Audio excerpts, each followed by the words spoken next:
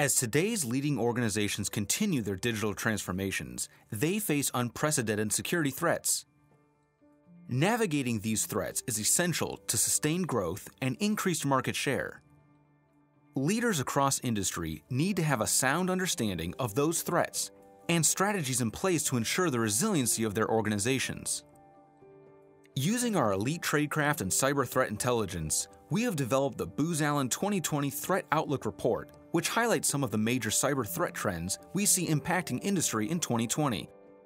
As we move into autonomous vehicles and connected cities and fleets and platoons, there will be or there is a need for more security. The huge amount of data that's now on the vehicles, on the devices, um, is really changing the way that OEMs, product makers, um, changing the way that they look at how to protect data.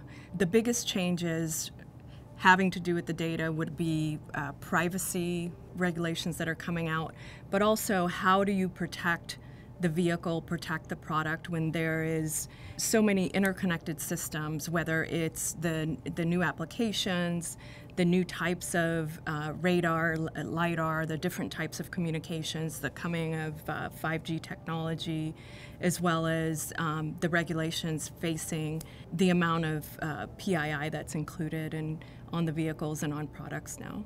Some of the organizations that are most prepared for a cyber attack, for an incident, are those organizations that have very robust programs. So, what I mean by very robust programs is they have a whole team of people that their only job is to red team or, or pen test a particular component. So, if a car has thousands of components, then the more advanced organizations would have a pen testing team that only looks at one component and they're consistently testing. Think of Booz Allen as an organization that can help you understand where your gaps are, how to build a strategy to get you to where you're looking to be. Are you looking to be one of the on the leading edge of cybersecurity? Are you looking to just get by? Are you a little lagger but don't want to be kept too behind? We can help you in whatever phase you are.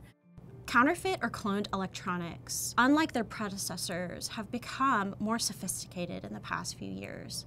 Now, cloned products are a little more nefarious, and that attackers actually have taken steps to introduce or create their own boards, hardware, and software components onto the counterfeit product. This can increase the risk for organizations as they can actually introduce vulnerabilities into an organization that didn't exist before.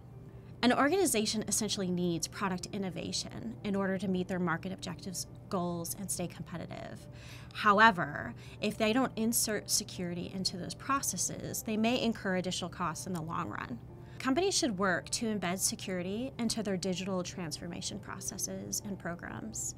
OEMs and ODMs can take a number of steps in order to prevent risk or mitigate the risk in the scenario that it's realized along their supply chain. The first thing that they should do is really identify the third parties involved across their value chain. Third party providers play an integral role in securing the overall supply chain.